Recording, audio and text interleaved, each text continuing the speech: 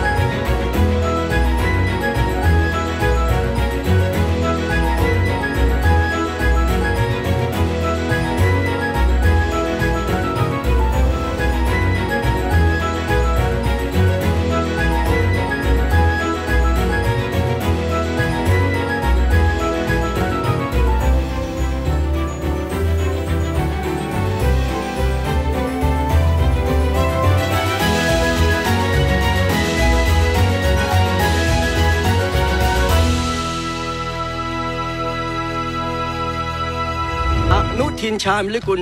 ทำลายวงจรชีวิตความเป็นมนุษย์ตั้งแต่อยู่ในคันถึงเชิงตะกอนนะท่านประธานไม่มีใครรอดจากความโหดร้ายของการบริหารราชการแผ่นดินของท่าน 12,000 คน ผมเชื่อว่าวินาทีสุดท้ายของเขาเหล่านั้นเนี่ยจากไปด้วยความไม่สงบครับ จากไปด้วยความทุรนทุรายไอเชื้อโควิดมันกินปอดมันหายใจไม่ออก ไม่ต้องเอาถุงดำคลุมหัวนะท่านประธาน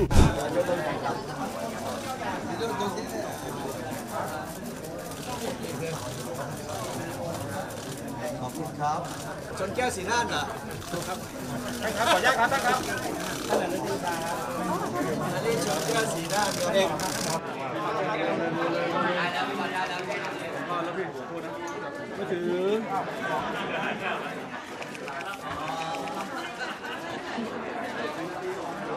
ได้ไหมวันติดไปเนาะ